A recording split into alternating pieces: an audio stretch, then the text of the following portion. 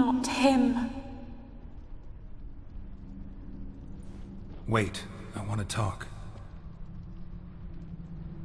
Not here. Not in this place.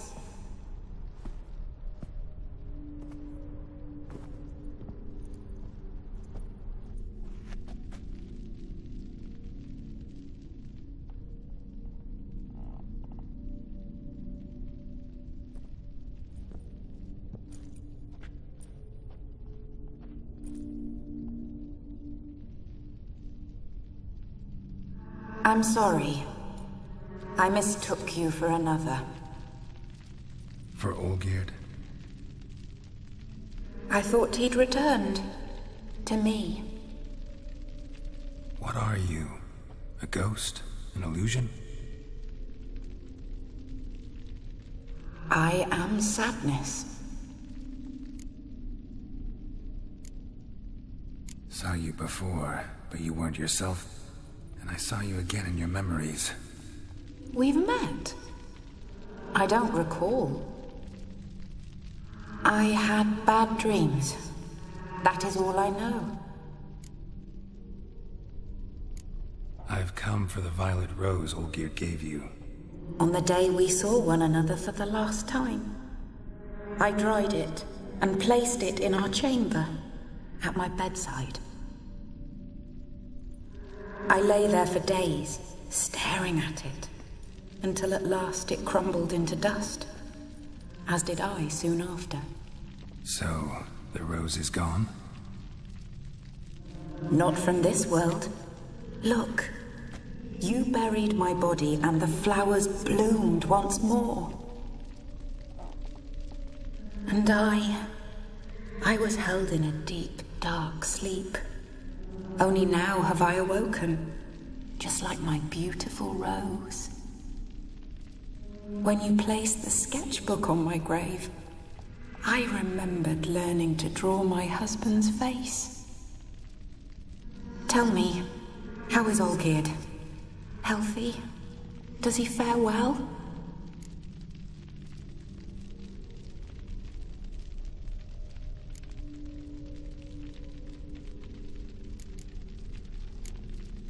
Your husband's got a powerful enemy.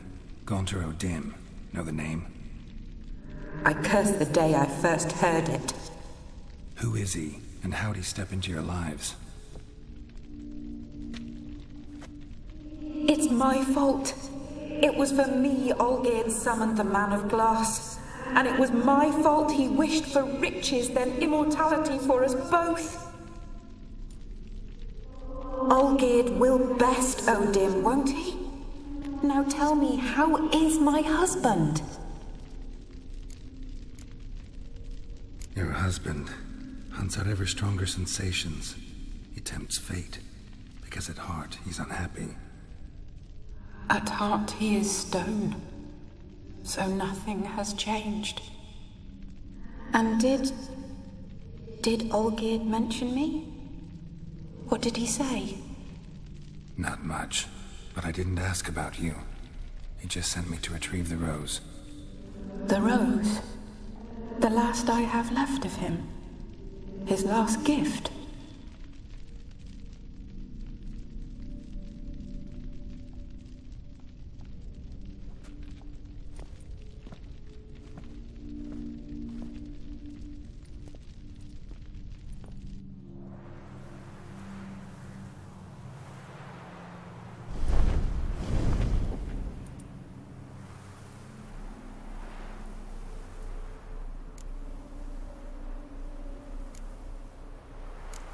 Got a feeling the rose is important to you, more than a memento. I remember so little. Yet when I think of my rose, I begin to recall what was. The world around me turns real, and I. My eyes open wide and I recognize things. Remember who I am and who I was. Friend once told me about a case like this. Could be strong emotions that bind you to the rose, feelings we witchers call pins. They're what keeps you in this world. Like an insect pinned in a collection case. Horrible. Need to be honest, if I take the rose, you might cease to exist, as might the world you've built around you. And what will happen then? Shall I be free of the suffering, the sadness? Is it the void that awaits? I don't know.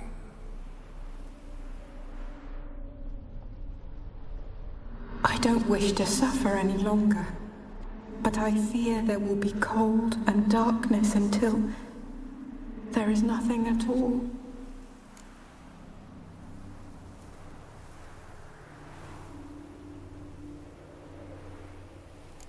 I need the rose. Will you give it to me? It's so fragile. Look, the petal edges have turned crimson as they were on the day I received it. The one thing missing is the single drop of dew which slid down the leaf when I took the rose in hand. Or was it blood? Because I pricked my finger? I can't remember.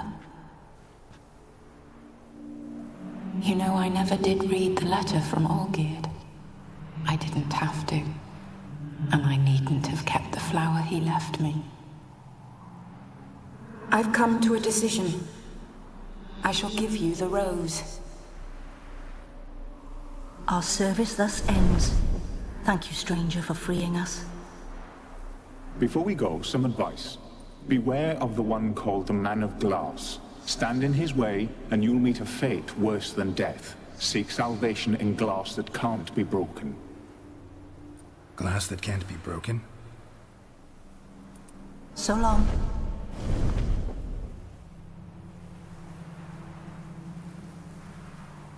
I'll remember you, Iris von Everec.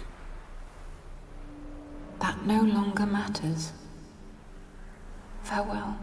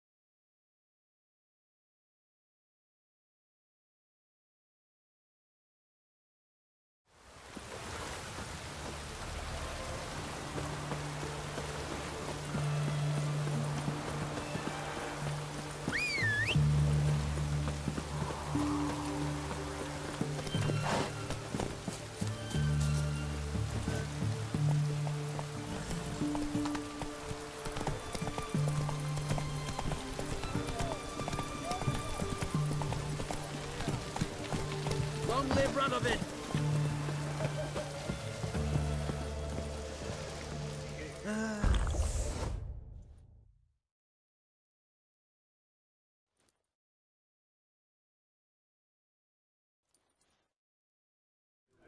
Two points, and be quick about it. Oh, please, good sir, a bit of courtesy. So I look up, and Bob's your uncle.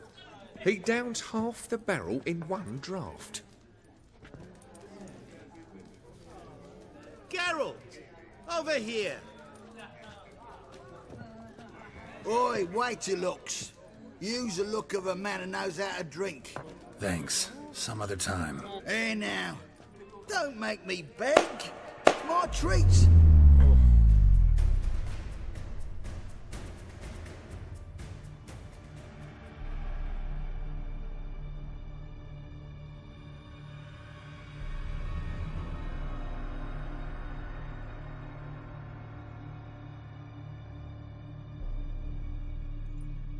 Show off. Of course I am. Wouldn't you be? Time's a marvelous plaything. And a great spice to use in gingerbread. So, you were listening. Indeed, occasionally I find time manipulation irresistible. Controlling it offers so many appetizing opportunities. Like spiking the soup of unsavory individuals with appropriately ghastly things.